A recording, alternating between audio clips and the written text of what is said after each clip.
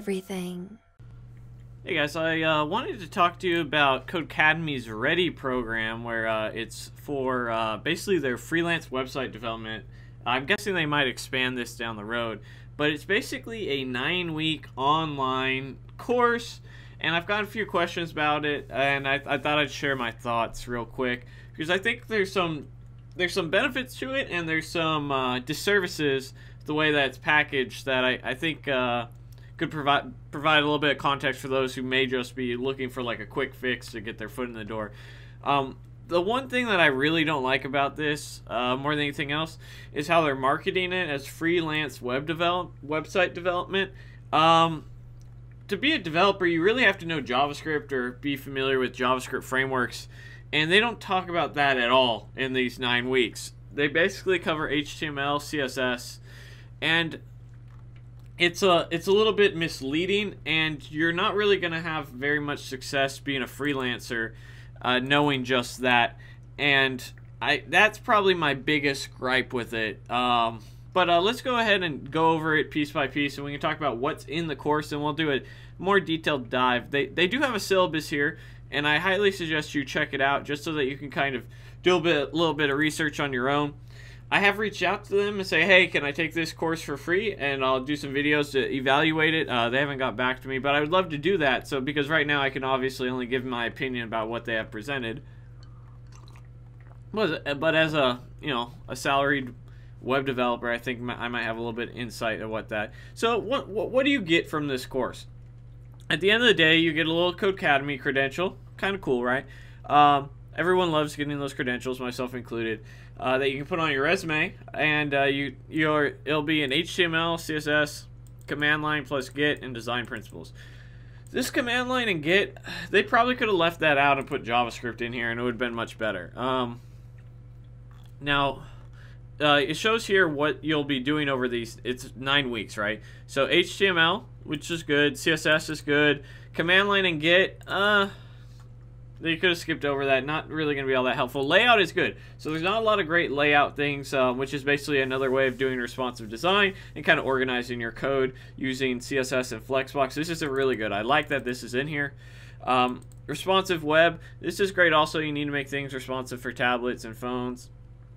Design principles. Also good. Uh, probably not as appreciated as it should be. More uh, CSS libraries and then uh, projects. Now, what do you uh, what is what does it cost? It costs five hundred dollars, uh, which is a lot in my opinion for what you're getting offered. They they expect you to put in about ten hours a week.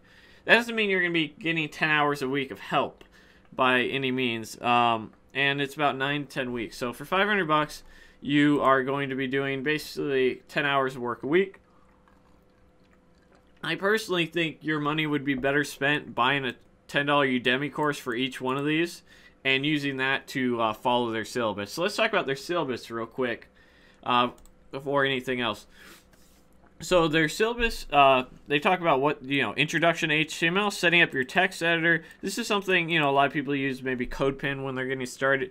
That could have some benefit.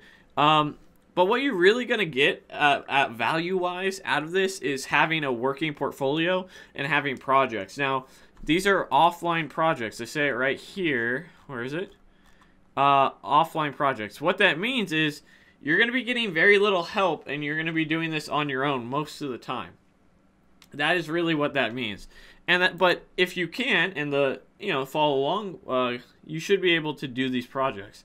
And so you have one project, two project, three project, four project, this Chrome DevTools, that's cool. So you get to see uh, how to use the developer tools that are built into Chrome. That's actually really helpful. I like that a lot. Um, that more projects. Again, this is all going to be based off you, really, is how well and how much time you put into each one of these projects. More projects. Um, it's nice you're getting introduction to Git. I don't think you really need the command line aspect of it uh, for such a basic course. I think it's kind of just adding something in there to add it in there. Um, then you have responsive design, Flexbox, more projects, more projects. Um, let's see here. I wish I wish they would get rid of all these projects that were kind of not all super relevant, like Secret Agent Supply Incorporated. Like I'd rather have more realistic projects for some of these. Like this one's all right. For a new glasses site, okay, like that's a good project. But this one, they should probably put things in that are actually going to be more relatable. Um, design, lots of stuff going on design. Uh, bootstrap, so you'll be learning about bootstrap. I'm not super stoked that they're going to have you jump right into a library uh, when you're just learning, and that's what this is designed for. But uh, wireframing is good, and um, so the, what you're going to get out of this is really an introduction.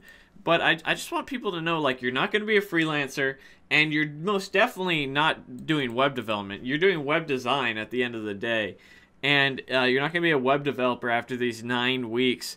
And this whole name of it, freelance website development, is really misleading. Um, it should it should be something like um, front end web design or web design. This is a whole web design course. Uh, this is for web design, not web development.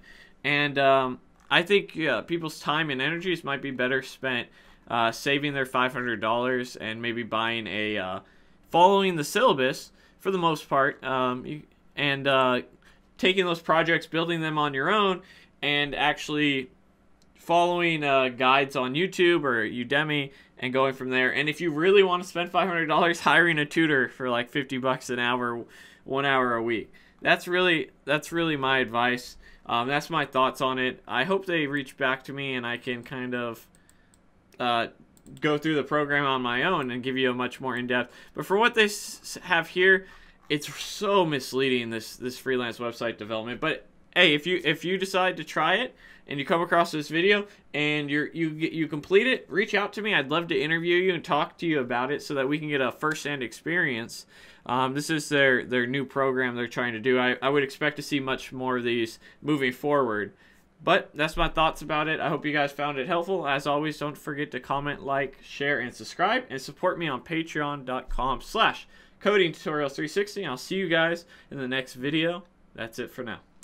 Special thanks to our sponsor, Dev Mountain. If you're interested in a coding bootcamp, why don't you check them out where they include housing alongside their tuition so you can get up, go, and immerse yourself in the environment. If you want to support me, go over to patreon.com slash coding tutorials 360 so we can put out more content. Thanks for watching.